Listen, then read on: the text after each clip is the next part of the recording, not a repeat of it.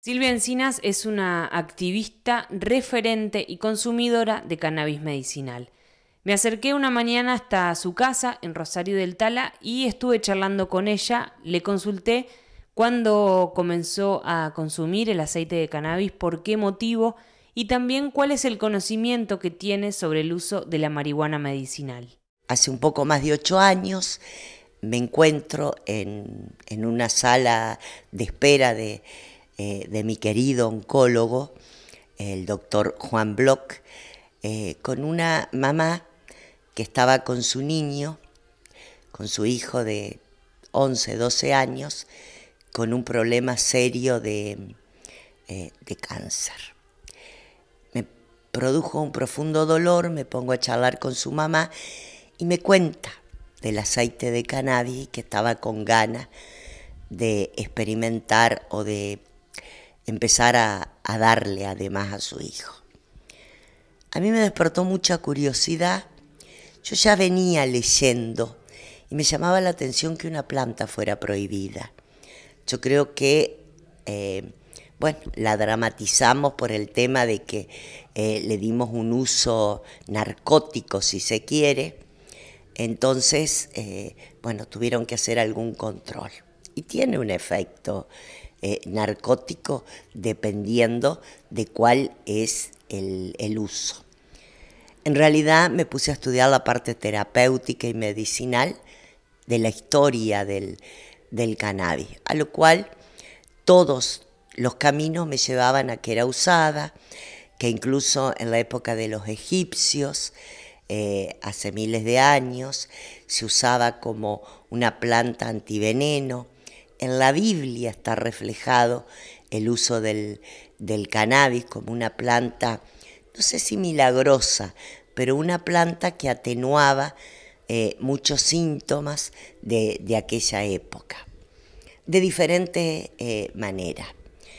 En esto también había eh, un poco de mentira, sigue existiendo, de cantidad de variedades, lo cual, bueno, traté de meterme en el mundo científico y me sumé al trabajo, que no me fue fácil, al trabajo investigativo que estaban haciendo distintos equipos médicos y bioquímicos.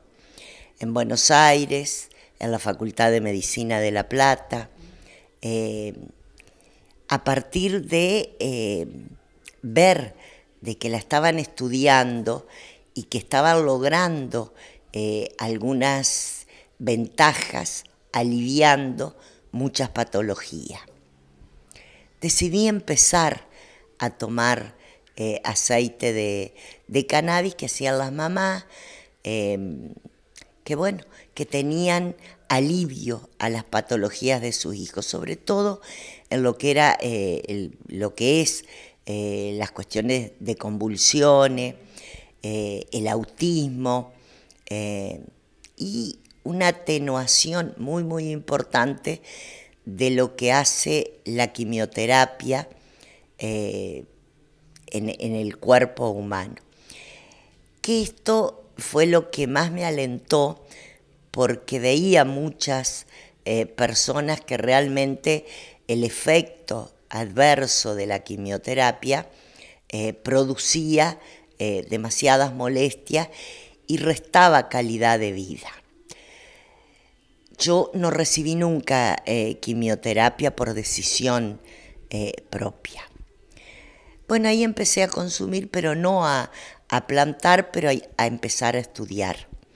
Vengo de, un mundo científico, mi papá es médico, mi hermano también, pero además yo siempre estuve eh, más de ese lado que del poder curativo de otra cosa.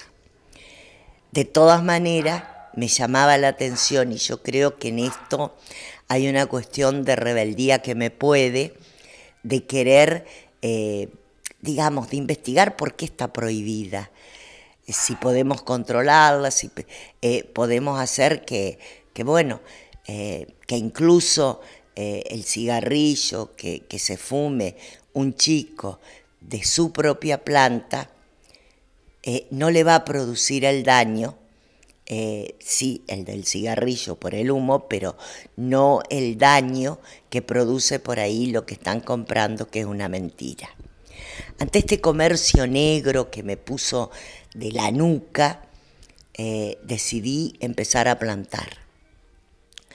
empecé a plantar y empecé a estudiar de cómo se hacía mi propio, cómo podía ser mi propia medicina y colaborar con las mamás que eran perseguidas, con la mamá y la gente en general, y los chicos. Bueno, ahí me fui metiendo en, un ambiente que eh, realmente era alentador en cuanto a los resultados que venían teniendo.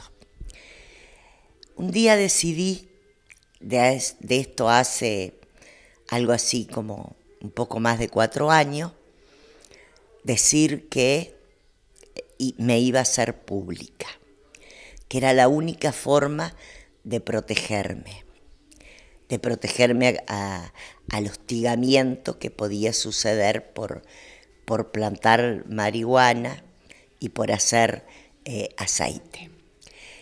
Hablé con mis hijos porque lógicamente exponía mi, mi domicilio, que es el de ellos, es el de ellos literalmente, porque es la casa de ellos. Y sí, eh, me dijeron, haz lo que quieras, si vos crees, eh, me reconocen en, en, definitiva de que lo iba a hacer científicamente. Eh, científicamente lo hago domésticamente porque lo hago en mi casa, pero científicamente porque tomo los recaudos y, estoy munida de toda la información eh, eh, científica y de resultados científicos y de eh, prenderme de los protocolos que van armando los médicos. no una cuestión curanderil. De esa me aparto. Trato, por eso quiero, y mi objetivo es que la gente cultive y haga su propia medicina y no ingrese en este mercado eh, negro, perverso, dañino, eh, en el cual mucha gente eh, de escasos sentimientos hace un negocio de, esto y a veces produce daño. En esto te digo, me puse a cultivar y empecé a experimentar mi propia medicina. ¿Cómo fue esa reacción los meses siguientes después de consumir por primera vez aceite de cannabis? Hace cinco años, em, en un estudio eh, que es un PEP que, me hago de control, me sale eh, o se sugiere el PEP un primario de mama, lo cual por mis antecedentes anteriores, eh, lo ideal era el camino protocolar, digamos, hecho era sacar el nodulito o, el tumor, eh, hacerme quimioterapia y después, de acuerdo a ese resultado, sacar eh, la mama. Yo vi ese paso. Le dije a mi médico de que mm, yo me sacara la mama nomás, directamente porque no me iba a hacer quimioterapia.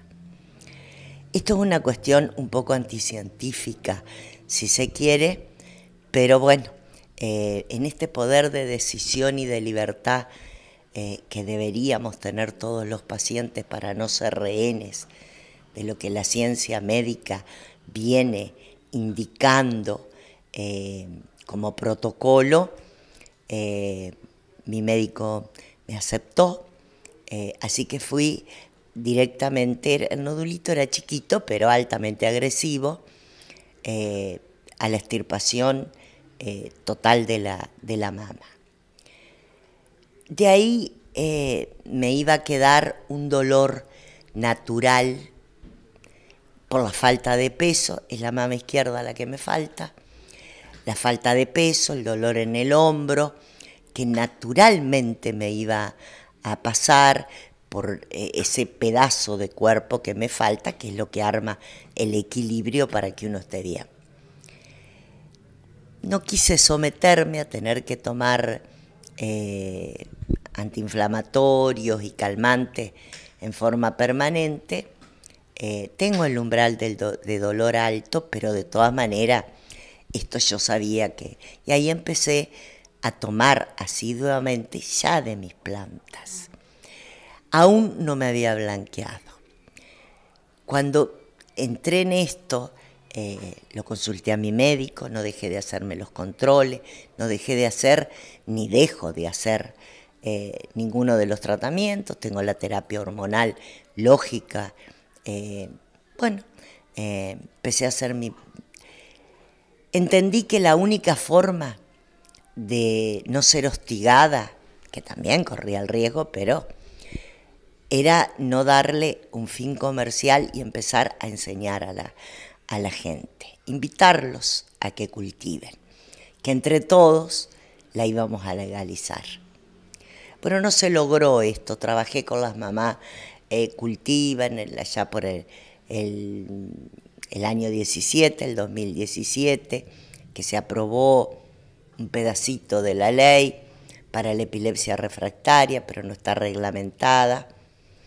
Y los médicos empezaron a mirarme los médicos de los laboratorios y que estaban trabajando de una manera diferente porque sabía eh, un poco más de lo que ellos podían saber por el simple hecho que no hay una cátedra de, cannabis, e, es como nuevo, en realidad ellos también están estudiando a la par y van haciendo sus propias comprobaciones.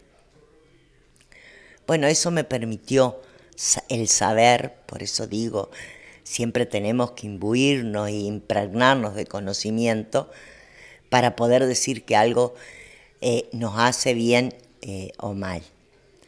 Recalco siempre que no dejé de ir al médico ni de consultar al médico y a toda la gente los invito a que el médico a que al médico le informen. El médico no está en condiciones de recetar esto, pero sí de saber, y tiene que saber que lo estamos tomando, porque en estos años he tenido resultados de los cuales me comentan, y yo voy escribiendo también, de que el conocimiento de los médicos de que la gente consume cannabis les permite eh, por ahí hasta achicar la dosis de algún otro medicamento. Y bueno, fui por más estudiando. Eh, siempre en aceite de oliva, no utilicé nunca la maceración en alcohol porque esa me implicaba, implica un riesgo, que es el que comúnmente se vende, porque no podemos lograr domésticamente la evaporación total del alcohol y por ahí con otro medicamento puede haber una, contraindicación y producir algún efecto no correspondiente. En general, y casi el 100%, puede no cubrirte las expectativas en cuanto al, al, al consumo para la patología. Tampoco es para todo, ni es mágica. Eh, lo que sí logra el alivio de los síntomas que van produciendo un montón, montón de patologías. Cada vez se comprueban más y lo hacen los médicos y los laboratorios científicos. La ley eh, de medicina, de cannabis medicinal, que está enfocada eh, por ahí en una sola patología que le falta reglamentar, algo fundamental como es el autocultivo. ¿Cómo es eh, el trabajo que estás haciendo para, para lograr eso? Que es tan importante en, consumir lo que, lo que uno planta. Sí, bueno, ese fue el primer desafío, eh, saber lo que tomaba eh, y dar, eh, o sea, repetir todos los días y que la gente entienda de que no debe tener miedo por plantar, sí debe temer por lo que compra o por lo que le venden. No es tan fácil hacer esa docencia, digamos. Plantar, yo no recibí nunca un hostigamiento. Creo que esto ha sido porque nunca le di valor comercial. En realidad sigo convencida de que el cannabis es solidario, de que el cannabis es una planta. Yo la llamo marihuana, eh, sin ningún eh, problema. me da mucho privilegio y mucho honor hacerlo y participar de las comunidades científicas que están haciendo investigación, porque, bueno, creo que ha valido la pena informarme y estudiar mucho durante eh, todos estos años y en realidad no creo que es la panacea. Estoy convencida que esto no cura nada. Ojalá sí, ojalá sí. Eh, pero no creo que cure el cáncer ni, ni, otras patologías. Lo que sí estoy convencida que atenúa, eh, alivia, no es efecto placebo tampoco. Yo tengo comprobado en mí, hace 5 o 6 años, el primer cáncer empezó como a querer marchar, es decir, para explicarlo domésticamente, eh, empezó en algunos lugarcitos donde había células que estaban en actividad, que estaban dormidas, empezaron a querer eh, marchar eh, es decir, aumentaron su actividad metabólica, eh, indicaba el, estudio, porque me lo determinaron por un estudio, a esa actividad, indicaba hacer quimio. Yo le dije que no, y al año, cuando repetimos el estudio, la actividad metabólica había parado y había vuelto a su origen, es decir, que está esas celulitas ahí, pero están quietas. Eh, del cáncer eh, de mama no tuve ningún dolor, no tengo, tengo, bueno, la pérdida por ahí de fuerza eh, en los brazos porque me sacaron ganglio, lo, que se hace en cualquier intervención. Y creo que también la lucha es lo que ayuda a mantenerse uno en pie, a ir por más todos los días, porque tengo mucha gente que ha confiado plenamente en mí y que esto a mí me llena de satisfacción. Y estoy, soy una convencida de que cuando a los demás les podés hacer bien, eh, uno también va sanando. Eh, esto no es ni poético, ni religioso, ni nada. Esto es una cuestión que si lo entendemos por ahí, eh, y no es necesario llegar al abismo para entender de que no somos nada sin la confianza, sin el cariño, sin el respeto de, del otro, de la otra, de la otra gente. En estos días eh, asume un nuevo gobierno. En el Ministerio de Salud va a estar eh, Ginés González García. ¿Crees que con esa persona eh, y con todo el general del gobierno lo que va a ser el, autocultivo y, la legalización incluso del consumo tal vez recreativo pueda llegar a dar un vuelco y, se permita o se trabaje por lo menos para educar, concientizar y armar una buena ley de, de cannabis medicinal? Sí, yo creo que sí porque en el año 17 fue justamente el Frente para la Victoria de aquel momento, la Cámara de Diputados, la que presentó eh, una ley eh, espectacular que no fue aprobada.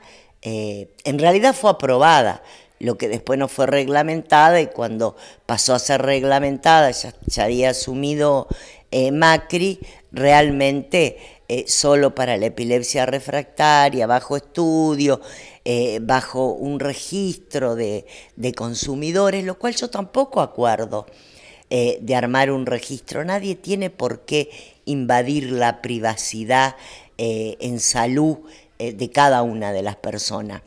Y esto es muy significativo y hay que pensarlo mucho. a mí no me cuesta nada. y en realidad lo tengo incorporado en mí, que cultivo cannabis, que tomo cannabis.